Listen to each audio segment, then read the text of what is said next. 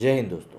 जहाँ एक तरफ़ हम लोग इस देश में इंटॉलरेंट होने की बात करते हैं, जहाँ एक तरफ़ लोग ये बोलते हैं कि हिंदू जो हैं, वो बढ़ चढ़ कर इस तरह की हरकतें करने लगे हैं कि इस देश में रहना मुश्किल होता जा रहा है।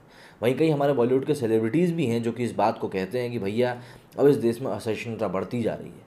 कई लोग अवार्ड वापसी की बात करते हैं, लेकिन कुछ खबरें ऐसी भी आती हैं जिसमें कि आपको ये समझ में आएगा कि कहीं ना कहीं गलती ऐसा नहीं कि सिर्फ़ एक ही तरफ़ की होती है।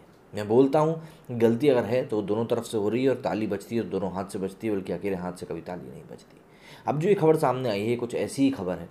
इससे मद्रास हाईकोर्ट ने एक बहुत बड़ा फैसला भी दिया है। ये पूरी खबर आपको मैं बताता हूँ। तमिलनाडु के पेरम्बलूर ज़िले का वी कालाथुर, एक मुस्लिम बाहुल इलाका है। यहाँ पर हिंदू अल्पसंख्यक है।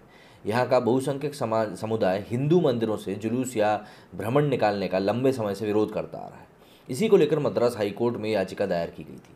समाचार एजेंसी पीटीआई के मुताबिक इलाके के कुछ स्थानीय मुस्लिम 2012 से हिंदू मुस्लिमों को जुलूस निकालने जाने का विरोध करते हैं।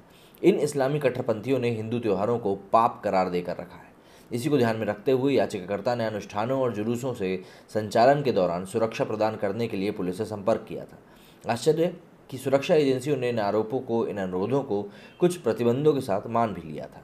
इस मामले में सुनवाई करते हुए मद्रास हाईकोर्ट के जस्टिस एन किरुम्बरन के और पी वेलमुरुगन की दो सदस्यीय पीठ ने अपना फैसला सुनाया। बेंच ने धार्मिक असहिष्णुता को देश के धर्मनिरपेक्ष ताने बाने के लिए खतरनाक बताया। कोर्ट ने कहा कि अगर एक पक्ष से संबंधित धार्मिक त्योहारों के आयोजन का विरोध दूसरे धार्मिक समुदाय द्वारा किया जाता है तो इससे दंगे और अराजकता फैल सकती है।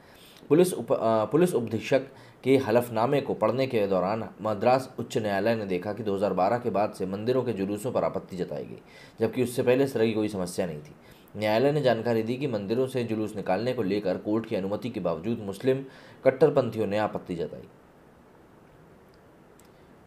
मद्रास हाईकोर्ट ने अपने फैसले के दौरान टिप्पणी करी कि केवल इसलिए कि एक धार्मिक समूह विशेष इलाके में हावी है, इसलिए दूसरे धार्मिक समुदायों को त्यौहार मनाने का उस या उस एरियो की सड़कों से जुलूस निकालने से नहीं रोका जा सकता।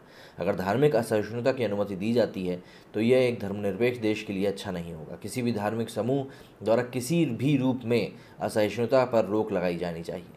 अदालत ने आगे कहा कि इस मामले में एक विशेष धार्मिक समूह की असहिष्णुता उन त्यौहारों पर आपत्ति जताते हुए दिखाई दी जा रही है, जो दशकों से दशकों से एक साथ आयोजित किया जा रहा है। गलियों और सड़कों से निकलने वाले जुलूसों को सिर्फ़ इसलिए प्रतिबंधित करने की मांग की जा रही है क्योंकि इलाका मुस्लिम बाहुल है और यहाँ कोई भी हिंदू त्यौहार या जुलूस नहीं निकाला जा सकता।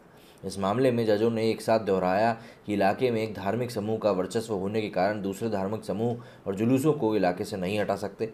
न्यायालय ने तर्क दिया कि अगर इस तरह के मामलों को स्वीकार किया गया तो आप कोई भी अल्पसंख्यक समुदाय देश के ज़्यादातर हिस्सों में अपने त्यौहार मना ही नहीं सकेगा। मद्रास हाईकोर्ट ने कहा कि इस तरह के विरोध से धार्मिक लड़ाई झगड़े बढ़ेंगे, दंगे भड़केंगे, जिसमें जाने जाएँगी और जान माल की भारी नुकसान भी झेलना पड़ेगा। तो इस तरह की कुछ खबर सामने आई है मद्रास हाईकोर्ट के फैसले के बाद।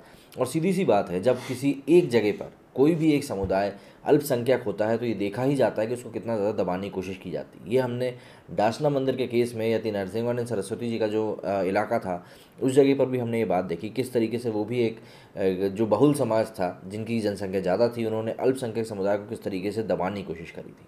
यही चीज़ें अगर इस तरीके से चलती रहीं तो असहिष्णुता तो देश में भरेगी, लेकिन इन चीज़ों को बॉलीवुड वाले ज़्यादा ध्यान नहीं देते। हालाँकि इनकी बातों से कोई ज़्यादा फ़र्क नहीं पड़ता, पर फिर भी ध्यान देना ज़रूरी है। मेरे स्टूडियो फ़िलहाल इतना ही। जय हिंद, जय भारत।